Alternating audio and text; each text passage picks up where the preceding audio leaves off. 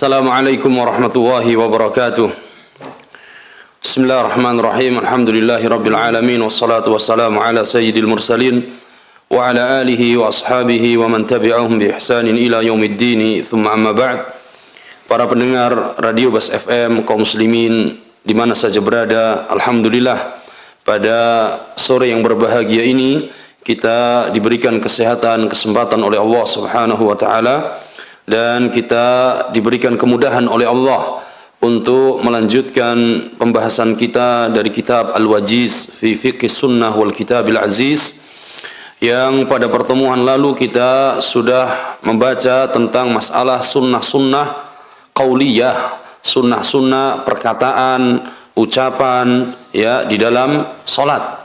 Dan pada sore yang berbahagia ini kita akan masuk pada sunnah-sunnah yang berkenaan dengan fi'liyah, dengan amalan perbuatan di dalam salat. Baik itu gerakan maupun ya eh, perbuatan-perbuatan yang lainnya di dalam salat. Nah, inilah di antara sunnah-sunnah fi'liyah di dalam di dalam salat. Para pendengar yang berbahagia, berkata Syekh Dr. Abdul Azim Badawi hafizahullah taala, kata beliau as-sunanul fi'liyah, sunnah-sunnah fi'liyah sunnah-sunnah amaliyah di dalam salat. Yang pertama, raf'ul yadain. Sunnah yang pertama yang dianjurkan ya di dalam salat kita amaliyah adalah raf'ul yadain, mengangkat kedua tangan. Mengangkat kedua tangan. Kata beliau, "Inda takbiratil ihram wa 'inda ar-ruku'i war raf'i minhu." Sunnah mengangkat tangan di dalam salat adalah ketika takbiratul ihram Allahu Akbar. Jadi mengangkat kedua tangan ketika takbiratul ihram yang pertama. Wa indar ruku ketika hendak ruku ya, ini yang kedua. Ketika ruku Allahu Akbar ketika ruku, maka yang kedua mengangkat tangan. Wa rafa' minhu. Dan yang ketiga adalah ketika bangkit dari ruku, i'tidal. Sami Allahu liman hamidah dengan mengangkat kedua tangan. Qala wa indal qiyami minat tasyahudil awal. Dan yang keempat disunahkan mengangkat tangan adalah ketika bangkit ya ke rakaat ketiga setelah tasyahud yang pertama. Jadi ketika duduk tasyahud yang pertama, selesai itu bangkit ke rakaat yang ketiga, maka dianjurkan juga dan disunahkan untuk mengangkat kedua tangan. Allahu akbar. Jadi ketika bangkit dari rakaat kedua menuju rakaat ketiga selesai tasyahud al-awwal. Maka ini empat e, tempat di mana disunahkan ya seorang ketika salat mengangkat kedua kedua tangannya. Berdasarkan hadis dari sahabat Abdullah bin Umar radhiyallahu anhuma, anna Rasulullah sallallahu alaihi wasallam kana yarfa'u yadayhi hadwa mankibai idza iftataha as-salah. Kata sahabat Abdullah bin Umar radhiyallahu anhuma bahwa Rasulullah sallallahu alaihi wasallam kana yarfa'u yadayhi hadwa mankibai idza iftataha as-salah. Adalah Nabi sallallahu alaihi wasallam mengangkat kedua tangannya kedua tangannya hadwa mankibai sejajar dengan dengan pundaknya.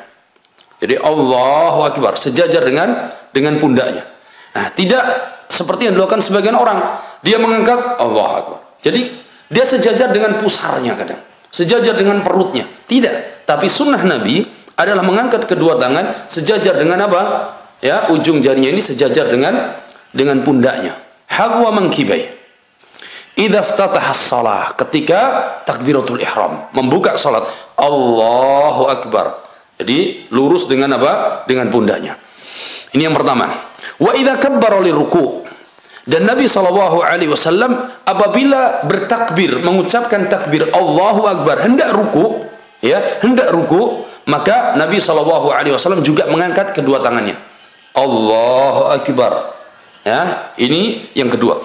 Wa idza rafa'a ra'sahu min ar-ruku' rafa'ahu ma kadzalika aidan. Begitu juga Nabi sallallahu alaihi wasallam ketika bangkit dari ruku' sami Allahu liman hamidah beliau mengangkat kedua tangannya ya dan sejajar dengan dengan pundaknya. Jadi ini tiga keadaan atau tiga tempat di mana Nabi Shallallahu Alaihi Wasallam mengangkat kedua tangannya sebagaimana diceritakan oleh Abdullah ibn Umar. Kemudian pada hadis yang kedua, An-Nafi'in dari Nafi' seorang tabi'i Maula Abdullah bin Umar radhiyallahu taala anhu. An-Nafi'in dari Nafi' anna Ibn Umar kana idza dakhala fi shalah. Kata Nafi' ini murid beliau, seorang tabi'i menceritakan tentang Ibnu Umar. Adalah Ibnu Umar apabila beliau ya dakhala fi shalah, beliau salat kabbara wa rafa'a yadayhi. Ketika Ibnu Umar salat, maka yang dimulai pertama adalah bertakbir Allahu Akbar sambil mengangkat kedua tangannya. Wa idza raka'a rafa'a yadayhi. Dan Ibnu Umar ketika hendak ruku maka dia mengangkat kedua tangannya. Wa idza qala sami Allahu liman hamidah rafa'a yadayhi. Ibnu Umar ketika mengucapkan sami Allahu liman hamidah i'tidal bangkit dari ruku juga sambil mengangkat kedua tangannya. Wa idza qama min ar-rak'ataini rafa'a yadayhi.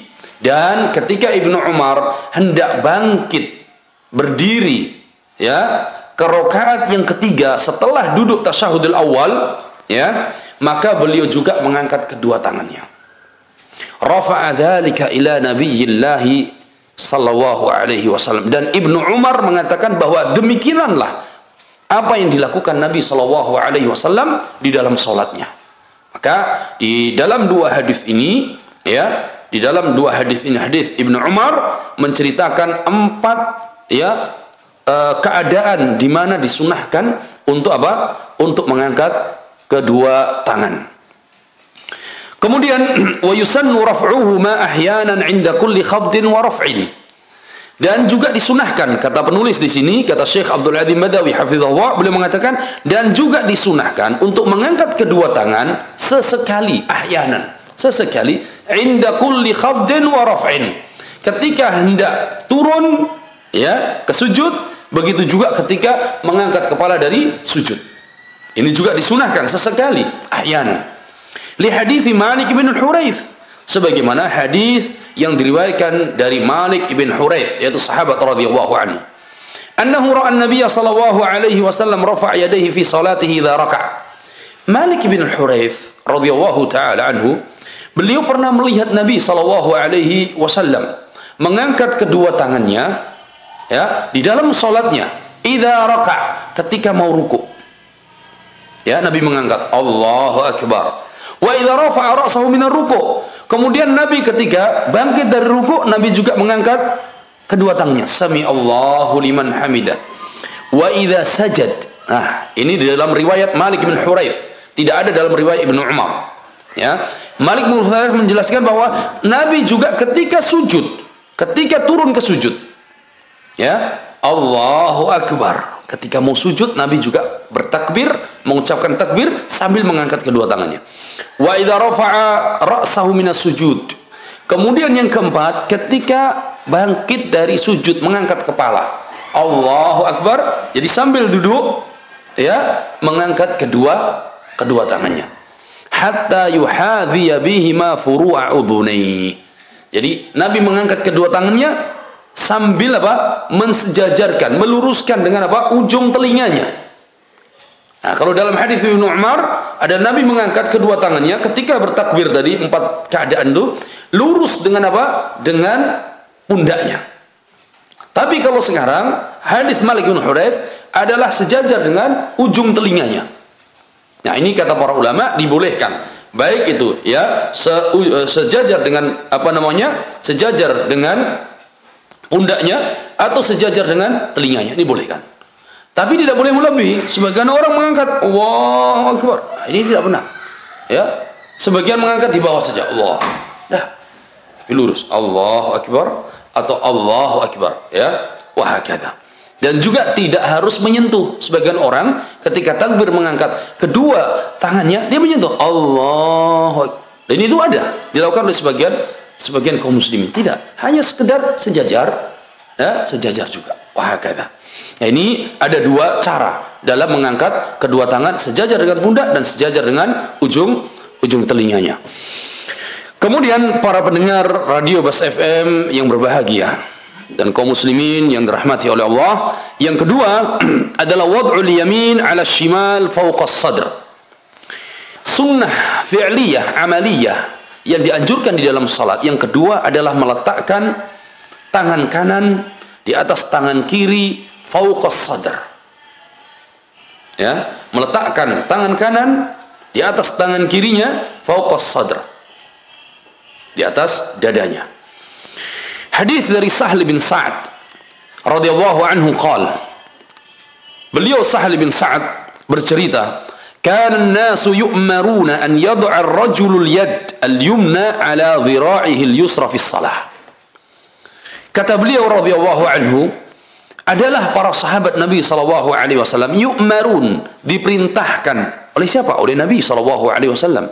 An yad'a ar-rajul yad al-yumna ala dhira'ihi al-yusra fi shalah diperintahkan oleh Nabi untuk meletakkan tangan kanan di atas dhira di atas hastanya di atas dhira. Ya seperti ini. Al yusra fi salah ya tangan kanan di atas dhira yusrahnya ini fi salah di dalam salatnya. Jadi memegang dhiranya qala Abu Hazim la a'lamu illa yanmi dhalika ila Nabi sallallahu alaihi wasallam. Berkata Abu Hazim aku tidak tahu hadis ini kecuali hadis ini ya dirafa'kan dinasbahkan nisbahkan kepada Nabi sallallahu alaihi wasallam dan hadis ini marfu ya hadis Nabi SAW perintah Nabi kepada para sahabat agar meletakkan tangan kanan di atas zira hasta kirinya bahu kirinya ini ya di atas dadanya di dalam salat qala wa Wa'il bin Hujrin dan hadis dari sahabat Wa'il bin Hujrin radhiyallahu anhu qala صليت مع رسول الله صلى الله عليه وسلم ووضع يده اليمنى على يده اليسرى على صدري kata Wa'il bin Hujr radhiyallahu anhu aku salat bersama Nabi sallallahu alaihi wasallam wa wada'a yadahu al-yumna ala yadihi al-yusra dan Nabi sallallahu alaihi wasallam meletakkan tangan kanannya di atas tangan kirinya ala sadri ini sunnah Nabi sallallahu alaihi wasallam Sebagian orang sholat dia takbir sambil mengangkat tangan. Ya, Allahu Akbar. Ketika ketika iftitah apa takbiratul ihram, Allahu Akbar.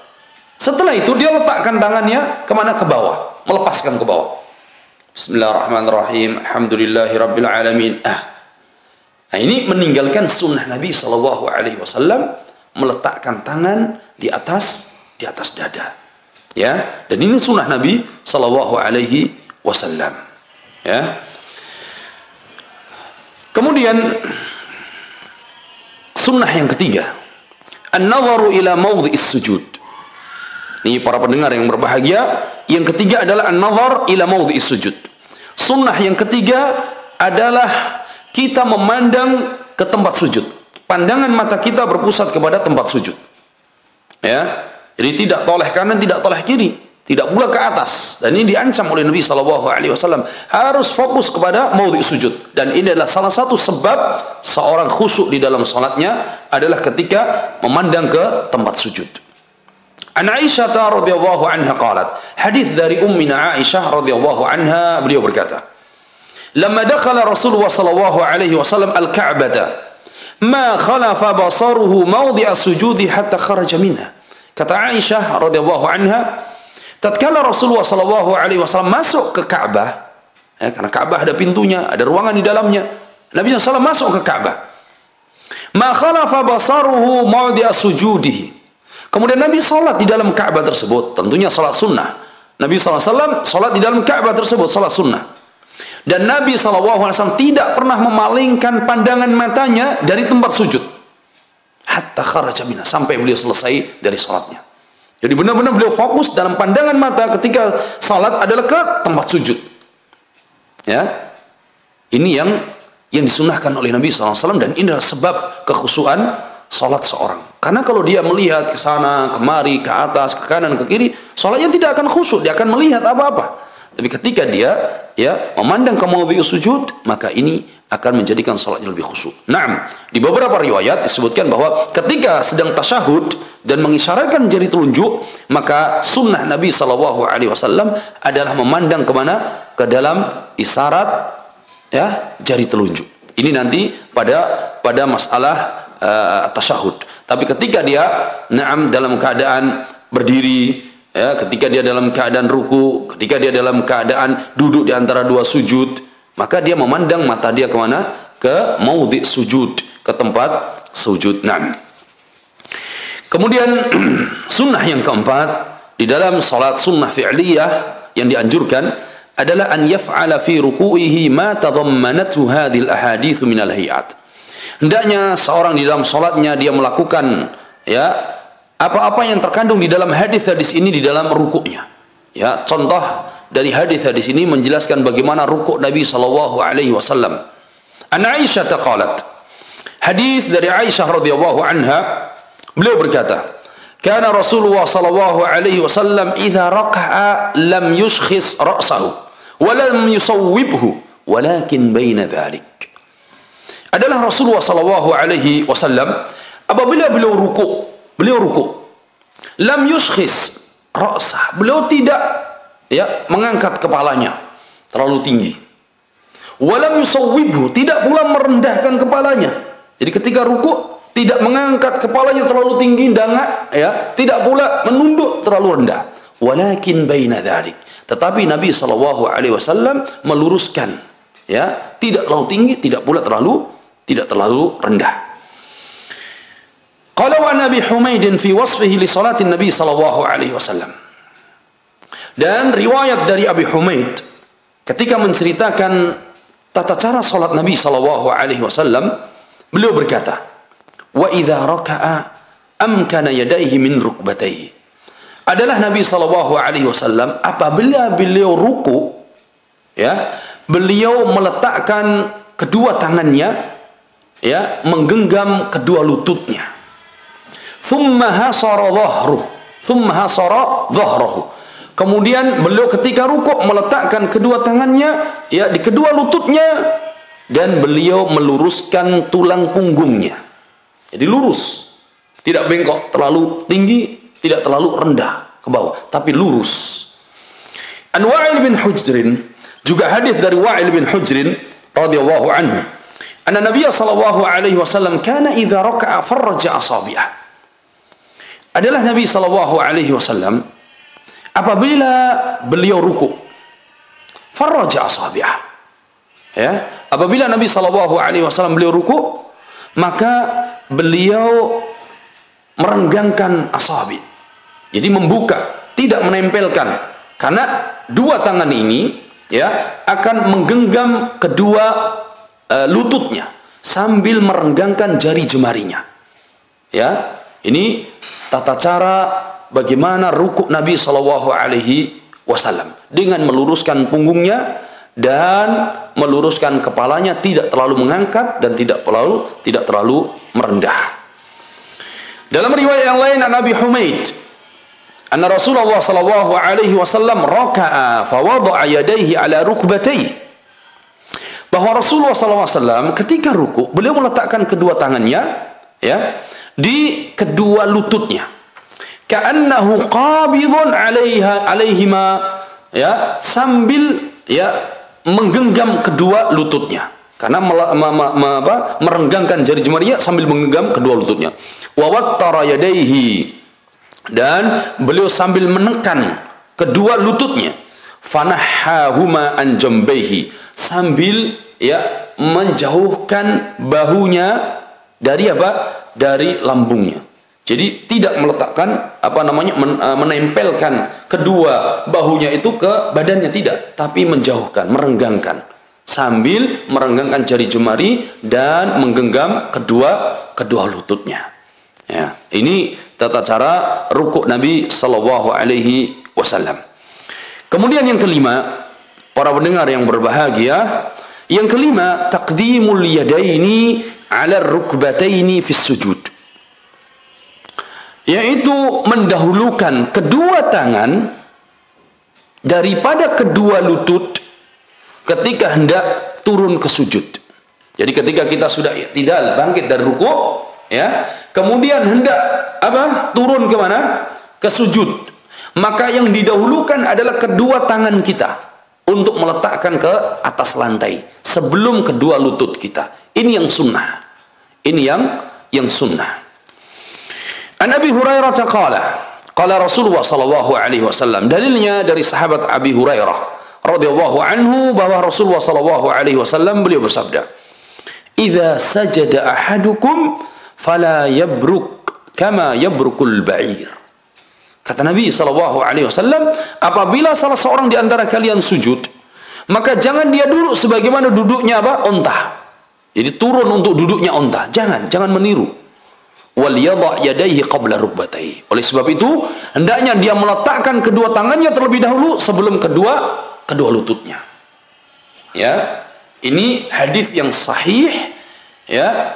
Berbeda dengan hadis yang lain yang disebutkan bahwa hendaknya dia meletakkan kedua lututnya sebelum kedua tangannya. Itu hadis dhaif. Ya, tetapi yang sahih adalah hendaknya dia meletakkan kedua tangannya terlebih dahulu ya sebelum kedua kedua lututnya. Ini sunnah fi'liyah Nabi sallallahu alaihi wasallam ketika hendak turun ke mana? Ke sujud. Nah tadi disebutkan pada hadis Malik bin Huraith bahwa Nabi ketika hendak turun ke sujud bertakbir sambil mengangkat apa? Kedua tangannya. Allahu akbar. Nah pada hadis ini Abu Hurairah sambil mendahulukan kedua tangannya ke lantai sebelum kedua kedua lututnya Kemudian kaum muslimin yang berbahagia, yang keenam, an yaf'ala fi sujudihi ma tadammanatu hadhil ahadith min al-hayat. Hendaknya melakukan tata cara sujud yang benar sebagaimana yang akan disebutkan dalam hadis-hadis ini. Kalau tadi tata cara rukuk yang disebutkan dalam hadis-hadis Nabi. Nah sekarang tata cara sujud yang benar sesuai dengan yang disebutkan oleh Nabi sallallahu alaihi wasallam. Hadis dari Abi Humaid dalam sifat salat atau tata cara salat Nabi sallallahu alaihi wasallam.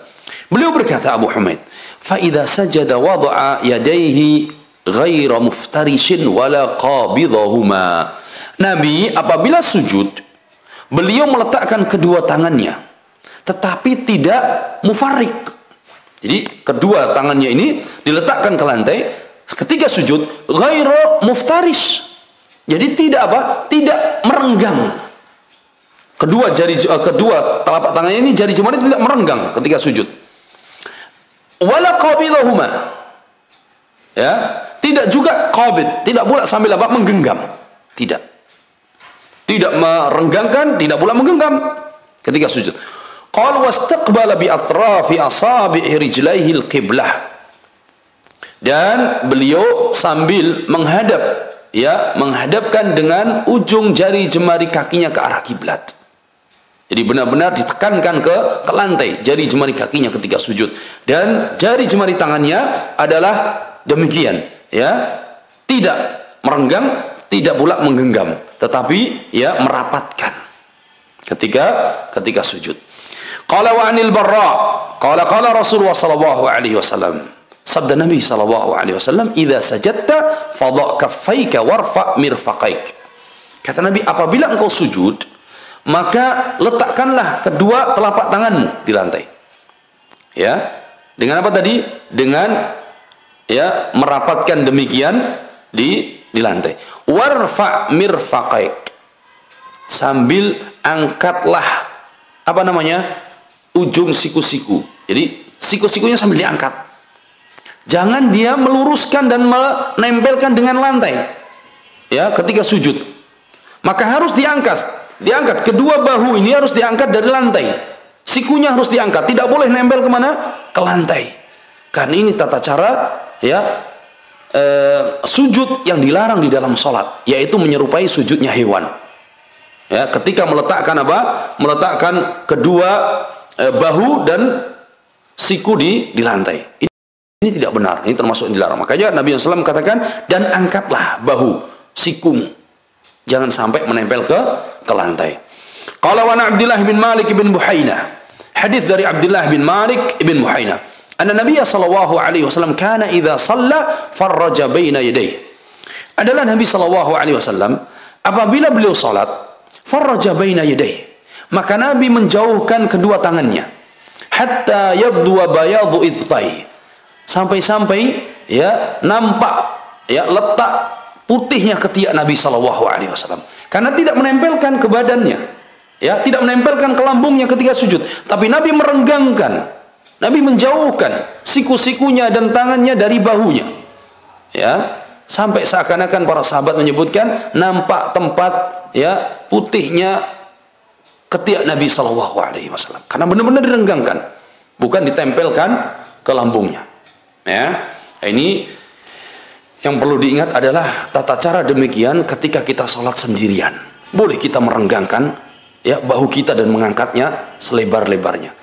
Tetapi ketika sholat berjamaah maka harus diperhatikan orang yang ada di samping kanan kiri kita Jangan sampai mereka terganggu dengan kita ingin melaksanakan sunnah fi'liyah ini merenggangkan ya sehingga yang lain tidak bisa di kanan kiri untuk apa? Untuk sujud terganggu. Ini tidak boleh.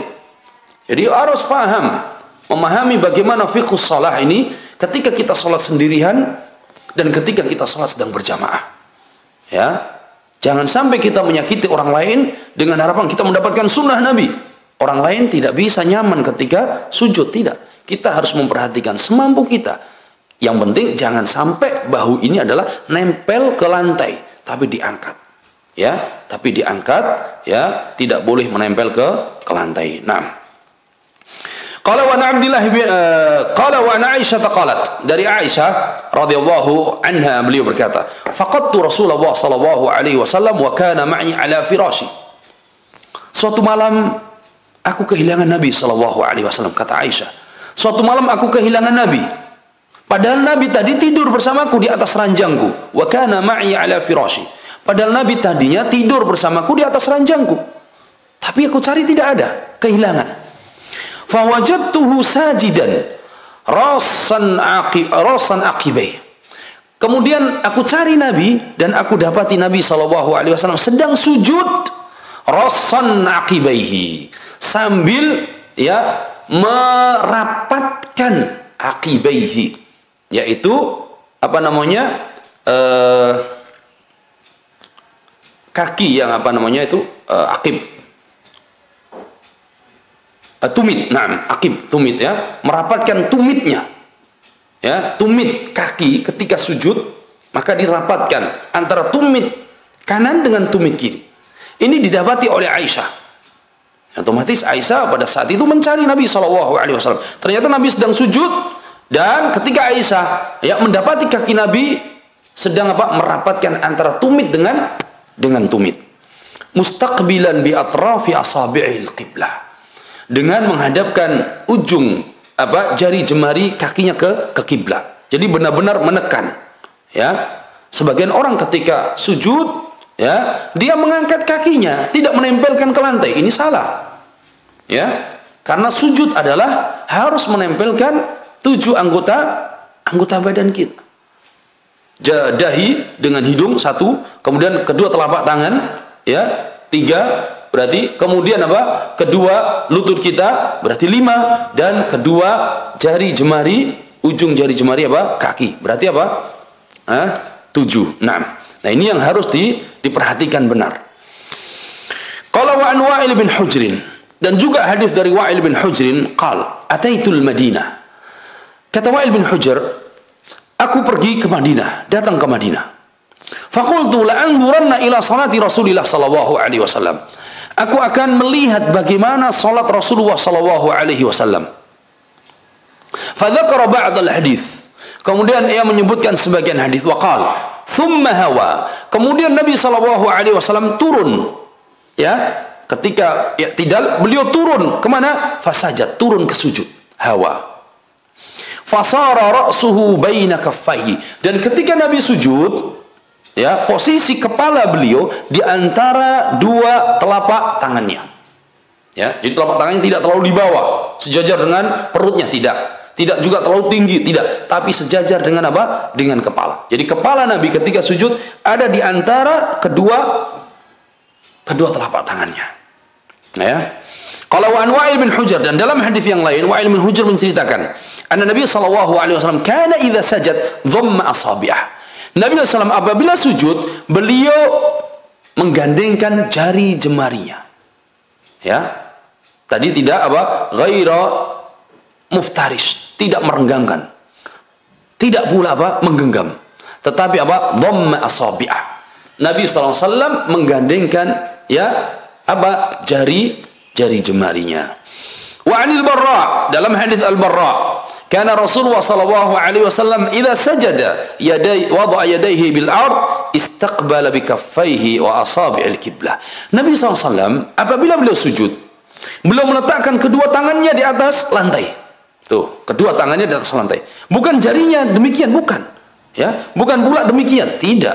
Tapi kedua jari jemarinya yang sudah di apa namanya di, di, di ditempelkan tadi, ya, maka diletakkan di atas lantai istaqbala bikaffaihi wa asabi'il kiblah sambil apa? Menghadapkan jari jemarinya ini ke kiblat.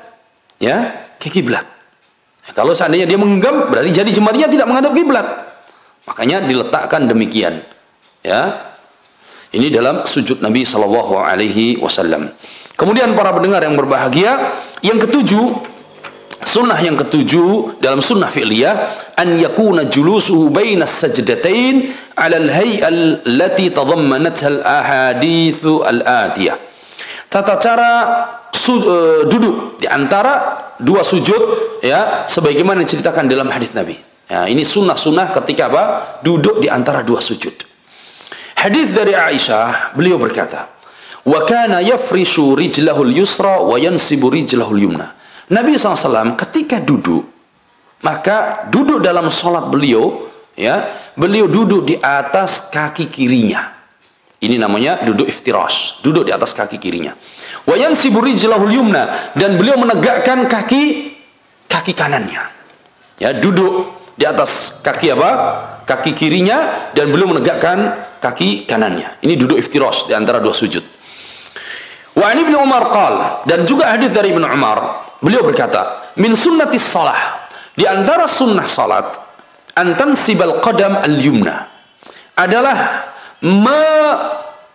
menegakkan kaki kanannya wastiqbalu bi asabi'il kiblah sambil apa menghadapkan ujung jarinya ini ke arah kiblah ya ajang uh, mengarah ke arah kiblah wal julusu alal yusra sambil duduk di atas kaki kirinya ini duduk di antara apa? Di antara dua dua sujud.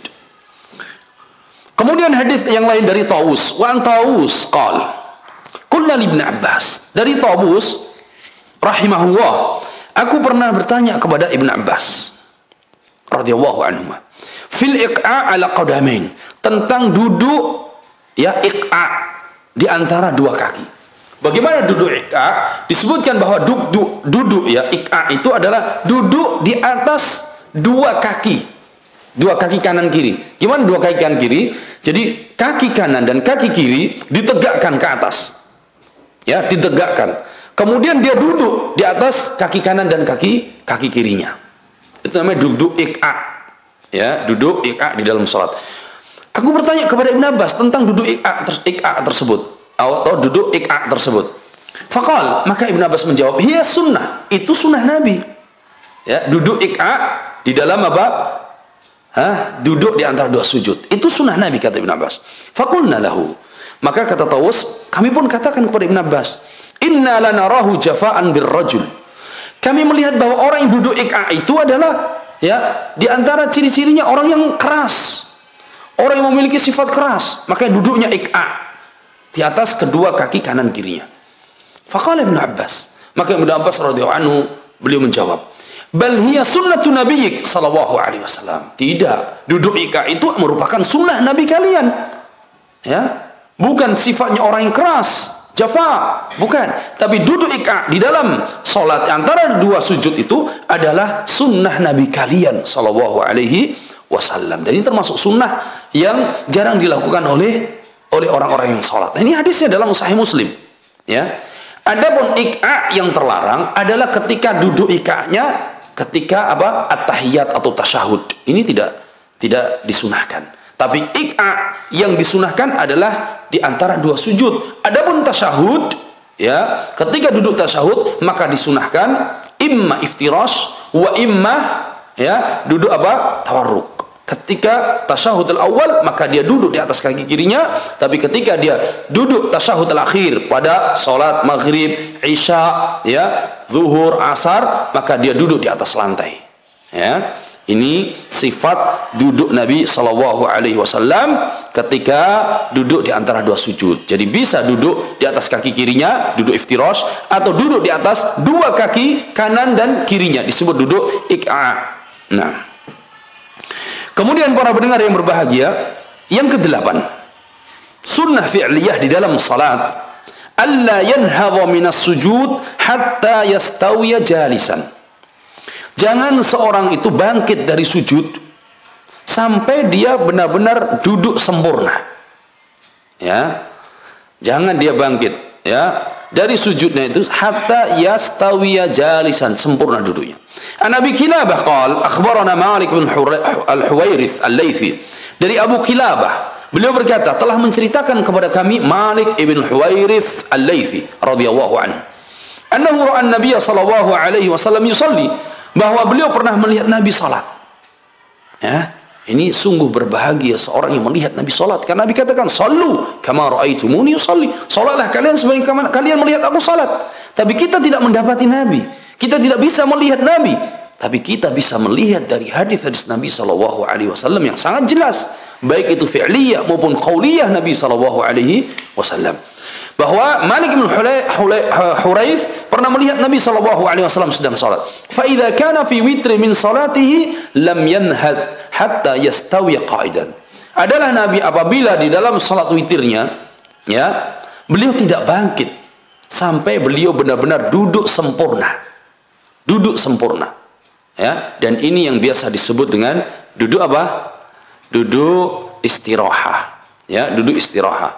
Jadi ketika bangkit dari sujud tidak langsung bangkit ke atas, tapi apa duduk sebentar ya sampai sempurna duduknya kemudian baru bangkit ke ke atas. Ini disebut duduk istirahat, jil satu istirahat. Ya. Begitu juga pada rokaat eh, pada rokaat pertama mau bangkit rokaat kedua atau rokaat ketiga mau bangkit ke rokaat keempat, maka disunahkan duduk jil satu istirahat. Nah, Kemudian yang kesembilan para pendengar yang dimuliakan Allah Subhanahu wa taala an ya'tamida 'ala al-ardi idza qama mina minar raka'ah.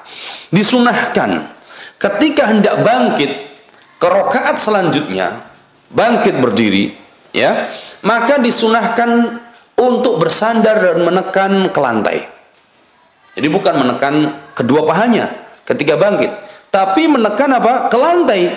Ya'tamid 'alal ard, meletakkan tangannya di lantai sambil menekan bangkit ke atas. Ya. An Abi Ayyub an Abi Kilabah. Hadis dari Abi Ayyub dari Abi Kilabah qal. Ja'ana Malik bin Huwairith fa shalla bina fi masjidina hadha. Datang suatu hari kepada kami Malik bin Huwairith dan salat bersama kami di masjid kami ini.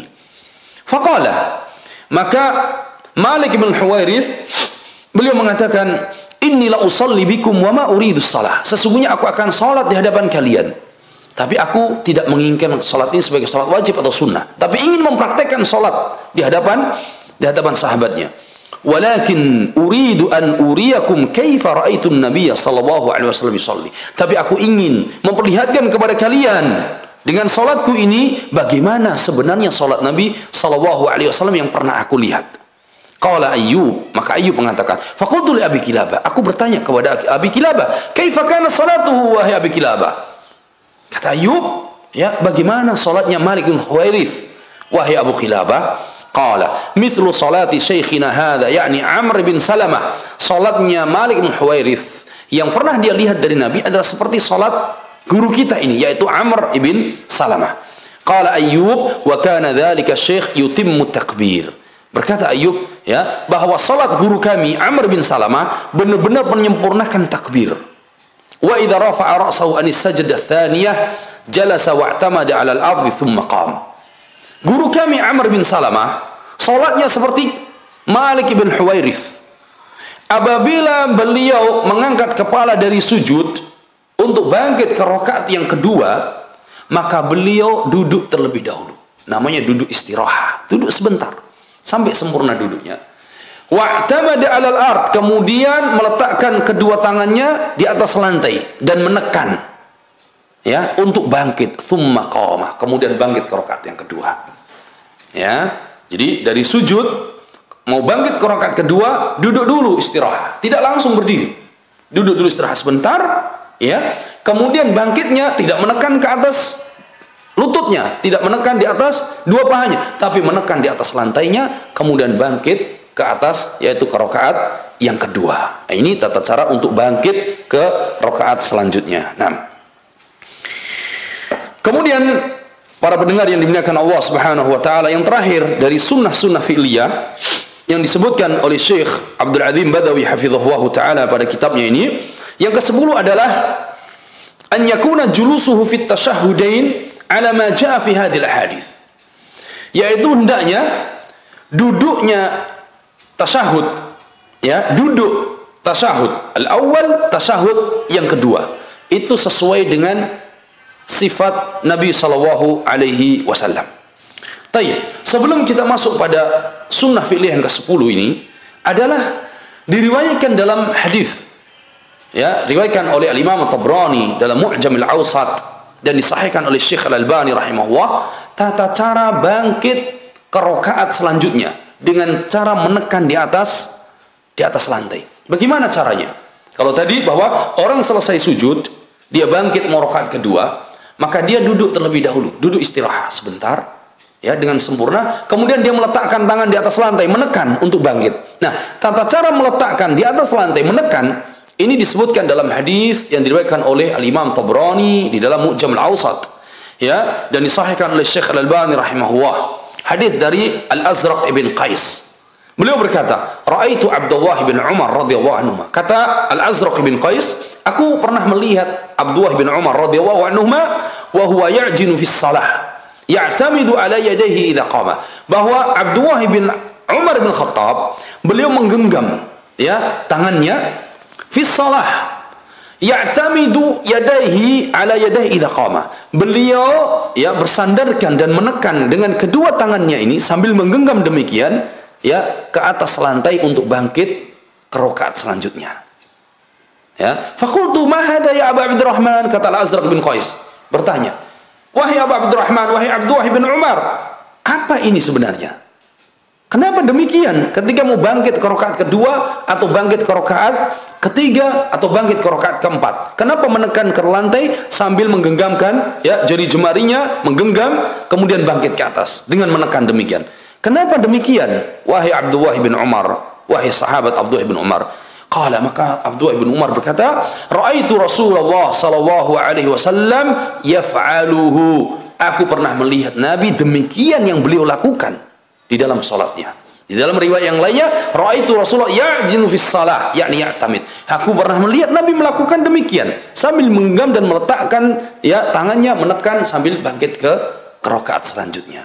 Ya, ini disebutkan dalam eh, riwayat Tabrani dalam Mu'jam al-Awsat. Nah, sebagian ulama katakan ya boleh memilih baik itu dia menggenggamkan demikian ya, boleh juga dia sambil ya me, apa namanya? Membukakan jari jemarinya dan menekakkan ke, ke lantai. Jadi boleh. Ya, ini eh, yang terdapat di dalam hadis Tabrani dan ini yang disunahkan oleh sebagian ulama. Nah.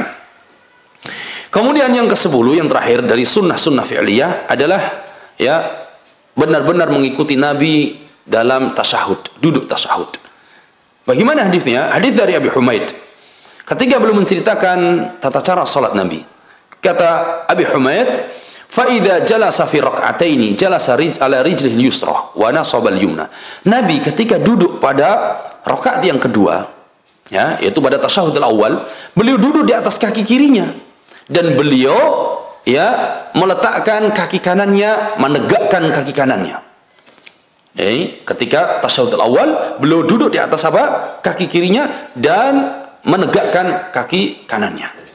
Ini duduk iftirash wa idza jalasa fi raq'atil akhirah qaddama yusra wa nasaba al ukhra wa qa'ada ala maq'adati apabila beliau duduk pada tahiyatul akhir itu pada salat maghrib, isya, na'am, ya rakaat terakhir tasyahud yang kedua, maka beliau ya duduk di atas lantai sambil ya meletakkan kaki kirinya di bawah kaki kanannya. Ini duduk terakhir dalam tasyahud terakhir. Duduk di atas lantai, meletakkan di atas lantainya, tapi kaki kirinya diletakkan di bawah kaki kaki kanannya. Wa Ibnu Umar radhiyallahu anhuma dan dalam hadis Ibnu Umar bahwa Rasulullah sallallahu alaihi wasallam kana idza jalasa fi shalah wada'a kaffahu al-yumna ala fakhidhihi al-yumna. Nabi kalau beliau duduk di dalam salatnya, baik tasyahud al-awwal, tasyahud kedua maupun pada duduk di antara dua sujud. Beliau meletakkan ya telapak tangan yang kanan di atas paha yang kanan. Dan waqaba wa asabi'ahu kullaha. Ya ketika duduk tahiyat atau tasyahud beliau meletakkan tangan atau telapak tangan kanannya di atas paha kanan. Sambil menggenggam jari jemari semuanya. Wa asyara bi usbi usbi' atau bi isbu'ihi allati talil ibham. Kemudian beliau mengisyaratkan dengan jari telunjuknya Ya, pertama meletakkan di atas paha kanannya, menggenggam, kemudian apa? Membuka dan mengisyaratkan dengan jari telunjuknya. Wa wada'a ala fakhidhil dan meletakkan tangan kirinya di atas paha kirinya. Ini ketika apa? Ketika at-tahiyat atau tasyahud al-awwal dan yang kedua. Wa Nafi'in qal dan dari Nafi' rahimahullah kana Abdullah bin Umar radhiyallahu anhuma Kata Nafi adalah Ibnu Umar radhiyallahu anhu, "Idza jalasa fi shalah." Sahabat Abdullah bin Umar apabila beliau duduk di dalam salatnya, wada'a yadayhi ala rukbatayhi. Beliau duduk sambil meletakkan kedua tangannya di atas kedua lututnya. Hmm. Hadis uh, Ibnu Umar yang pertama meletakkan di atas dua pahanya. Tangan kanan di atas paha kanan, tangan kiri di atas paha kiri. Hadis Ibnu Umar yang kedua, ya, beliau meletakkan apa? Meletakkan kedua tangannya di atas kedua lututnya. Wa asyara bi isbu'ihi wa atba'a basar. Dengan apa? Mengisyaratkan di dalam tahiyat tersebut. Ya telunjuknya. Sambil memandang matanya ke isyarat jari telunjuknya. Ya nah ini perbedaan ketika sedang duduk tasyahud. Ketika kita berdiri maka kita melihat ke maudhi sujud ke tempat sujud ya memandang ke tempat sujud. Tapi ketika duduk tasyahud awal dan yang kedua maka pandangan mata kita tertuju tertuju kepada uh, jari telunjuk kita. Thumma qala qala Rasulullah sallallahu alaihi wasallam. Kemudian Rasulullah sallallahu alaihi wasallam bersabda lahiya asyaddu ala syaitan minal hadid. Sesungguhnya jari telunjuk dalam isyarat tasyahud ini lebih keras ya lebih keras bagi syaitan daripada apa? Besi jadi lebih keras bagi setan. Makanya tidak boleh diremehkan untuk mengisyaratkan jari telunjuk di dalam di dalam salat atau di dalam tasyahud awal dan yang kedua. Inilah di antara ya para pendengar yang dimuliakan Allah Subhanahu wa taala di antara sunnah-sunnah fi'liyah, sunnah-sunnah amaliyah di dalam salat perkara-perkara yang dianjurkan yang disunahkan di dalam salat kita ya. Mudah-mudahan apa yang kita baca dari 10 sunnah-sunnah ini ya menjadikan salat kita lebih baik dan menjadikan salat kita lebih ya mendekati dengan sifat salat Nabi sallallahu alaihi wasallam ya. Mudah-mudahan ini bermanfaat dan kita cukupkan sampai uh, pada poin ini mudah-mudahan kita bisa melanjutkan lagi pada pertemuan yang akan datang wallahu alam wasallallahu ala nabiyina Muhammad wa ala alihi wa sahbihi wasallam Naam. Ada beberapa pertanyaan yang sudah masuk. Taib. Pertanyaan yang pertama, Assalamualaikum Waalaikumsalam warahmatullahi wabarakatuh. Mohon penjelasannya untuk sholat sunnah setelah baca Al-Fatihah harus membaca surat atau langsung ruku. Ya misal surat al-kafirun syukron. Ya ini nenek list dari Ambarawa para pendengar radio Bas FM kaum muslimin yang dimuliakan Allah Subhanahu wa taala. Di dalam salat sunnah ya apabila kita salat sunnah maka yang rukun yang wajib kita baca adalah al-fatihah adalah apa? Al-Fatihah. Karena Nabi sebutkan la salata liman lam yaqra bi Fatihatil kitab. Tidak sah salat seorang kecuali dia membaca apa? Surat Al-Fatihah. Nah, adapun selesai membaca surat Al-Fatihah, maka disunahkan untuk menambahkan dengan surat-surat yang lainnya atau dengan ayat-ayat yang lainnya. Baik itu yang panjang dipersilahkan atau yang pendek dipersilahkan. Karena ini salat sunnah ya tidak ada uh, urusannya dengan orang lain berbeda ketika sholat berjamaah dan kita menjadi imam kita harus memperhatikan ya kondisi makmum tetapi ketika sholat sendirian maka di situ kita berhak memanjangkan atau memendekkan sesuai dengan ya kemauan kita maka dianjurkan untuk membaca surat-surat. Silahkan. Kalau mau surat-surat yang pendek, dipersilahkan. Kalau mau surat yang panjang juga di dipersilahkan ya. Dan ini sunnah Nabi Shallallahu Alaihi Wasallam. Tapi kalau seandainya ya cukup membaca Al-Fatihah, kemudian dia ruku, maka sholatnya juga sunnah. Sholatnya juga sunnah dan tetap mendapatkan pahala dan sahih sholatnya. Wallahu alam. Nah. Taib. Pertanyaan selanjutnya dari Bapak Wahyu di Jeporo. Assalamualaikum Waalaikumsalam warahmatullahi wabarakatuh. Ketika mau sujud dari berdiri yang sampai di lantai, tangan dulu atau lutut dulu. Nah, Bapak yang berbahagia yang ada di Jepara, ya, tadi kita telah jelaskan bahwa ya sunnah fi'liyah Nabi sallallahu alaihi wasallam ketika beliau hendak turun ke sujud adalah mendahulukan kedua tangannya daripada kedua lututnya ya dan ini sunnah Nabi sallallahu alaihi wasallam berdasarkan hadis yang sahih dari sahabat Abu Hurairah radhiyallahu radhiyallahu anhu. Kata Abu Hurairah radhiyallahu anhu bahwa Rasulullah sallallahu alaihi wasallam bersabda idza sajada ahadukum fala yabruk kama yabrukul ba'ir. Kata Nabi apabila salah seorang di antara kalian tidak sujud maka ya apabila kalian tidak sujud maka janganlah dia duduk seperti duduknya apa? Duduknya ibil ay ba'ir unta Kata Nabi, wal yadahi qabla rukbatayhi. Hendaklah dia meletakkan ya kedua tangannya ke lantai terlebih dahulu sebelum kedua lututnya. Dan ini hadis yang sahih. Adapun hadis yang lain bahwa Nabi perintahkan kita meletakkan lutut terlebih dahulu sebelum kita meletakkan tangan, maka itu hadisnya maklub, hadisnya dhaif. Maka sunnah Nabi adalah meletakkan kedua tangannya terlebih dahulu, kemudian kedua lututnya. Ini sunnahnya. Tapi kalau tidak mampu, oh saya sakit, tidak bisa. Oh saya sudah nggak mampu kalau meletakkan. Saya mampunya adalah lutut terlebih dahulu. Maka tidak mengapa, sholatnya tetap sahih. Dan ini ada uzur ya tetapi kalau dia mampu ya dalam keadaan sehat dan tidak ada halangan maka ya seyukianya dan ya sebaiknya adalah meletakkan kedua tangannya terlebih dahulu sebelum kedua lututnya. Wallahu alam. Nah. Eh nah ini pertanyaan yang ketiga. Assalamualaikum Waalaikumsalam warahmatullahi wabarakatuh.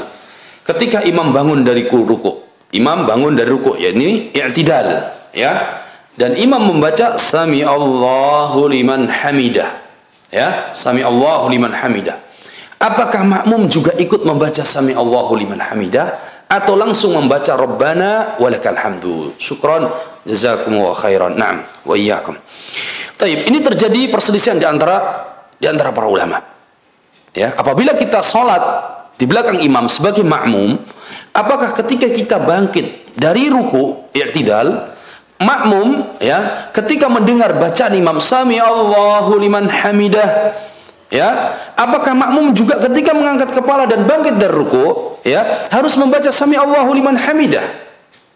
Kemudian membaca rabbana walakal hamdu ini perselisihan di antara ulama ya. Yang rajih yang rajih dan yang kuat bahwa makmum cukup membaca rabbana walakal hamdu dan tidak wajib membaca sami Allahu liman hamidah Sebagian ulama ya mewajibkan tetap membaca sebagaimana ya membaca pada apa namanya eh, takbir takbir intiqal, takbir perpindahan dari ya posisi dari gerakan ke gerakan yang lain tidak. Tapi pendapat yang rajih ya disebutkan oleh para ulama adalah ya cukup makmum membaca sami Allahu liman hamidah. Eh, eh makmum cukup membaca rabbana walakal hamdu Ya, ini kalau dia di belakang imam. Tapi kalau dia salat sendirian maka dia mengucapkan sami Allahu liman hamida rabbana walakal hamdu. Allahu alam. Nah.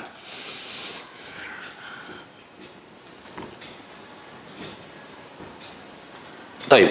Uh, pertanyaan selanjutnya Waalaikumsalam warahmatullahi wabarakatuh. Apabila kita lupa saat sujud, apakah ini sujud pertama atau ini sujud yang kedua? Jadi lupa, ragu. Sujud pertama atau sujud kedua? Apakah yang harus kita lakukan? Apakah benar bila kita sujud lagi dengan menganggap bahwa tadi sujud yang pertama? Taib. E, apabila kita sholat sendirian, contoh kita sholat sendirian, kita lupa sujud pertama atau sujud kedua, ya maka di situ hendaknya kita ya cari yang yakin ke mana? Oh yakinnya sujud sujud pertama. Sudah kita kalau memang ada keyakinan. Tapi kalau ada keraguan, maka hendaknya kita ya meyakini bahwa ini sujud yang pertama, bukan sujud kedua. Anggap itu sujud yang paling paling sedikit. Ya. Jadi kita ragu ini pertama apa kedua. Ya. Maka keraguan tersebut kita hendaknya memilih bahwa itu adalah sujud yang yang pertama. Kemudian kita menambah lagi sujud yang sujud yang kedua. Ya, seperti itu. Jadi ketika sama dengan ketika kita lupa, ini rakaat sudah keempat atau baru ketiga. Nah, kita ragu. Nah, maka di situ kita apa? Memilih pada oh ini baru rakaat ketiga. Maka kita menambah lagi rakaat yang keempat. Ya. Tapi kalau seandainya kita dalam posisi sebagai makmum, ya, maka kita mengikuti siapa? Mengikuti imam. Oh, kita lupa ini rakaat uh, sujud pertama atau kedua. Nah, ketika kita lupakan kita sebagai makmum, maka cukup kita mengikuti mengikuti imam, ya. Karena ju'ilal imamu liutamma bih. Imam dijadikan sebagai seorang imam adalah untuk diikuti oleh oleh makmumnya dan itu tidak berpengaruh. Tapi kalau seandainya ya sebagai imam dia lupa, ya, kemudian dia ya, ragu, maka hendaknya dia apa? E, mengambil bahwa itu adalah sujud yang pertama. Kemudian dia sujud yang yang kedua ya wallahu alam mudah-mudahan ini bermanfaat dan kita memohon kepada Allah Subhanahu wa taala mudah-mudahan salat kita dijadikan oleh Allah sebagai salat yang sesuai dengan sunnah Nabi, sesuai dengan apa tata cara Nabi Shallallahu Alaihi Wasallam dan kita diberikan manfaat barakah oleh Allah dengan salat kita. Karena kata Allah Subhanahu Wa Taala, Inna salata kanat, uh, Inna salat, Inna salata tanhanil fahsya'i wal munkar. Sungguhnya salat ya mencegah dari perbuatan keji dan mungkar. Mudah-mudahan kita mendapatkan keberkahan, manfaat dari salat kita dan kita memohon pertolongan kepada Allah adalah dengan kesabaran dan salat. Ya, astagfirullah bis sabri was salah dan mintalah kepada Allah pertolongan dengan cara apa? Salat dan sabar ya karena salat ini akan memberikan barakah dan manfaat kepada orang yang melaksanakannya apabila dia benar-benar melaksanakan salat ini sesuai dengan tata cara yang dicontohkan oleh Nabi sallallahu alaihi wasallam. Wallahu alam, mudah-mudahan ini bermanfaat dan insyaallah kita lanjutkan pada pertemuan yang akan datang. Subhanakallahumma bihamdika asyhadu an la ilaha illa anta astaghfiruka wa atubu ilaik. Wassalamualaikum warahmatullahi wabarakatuh.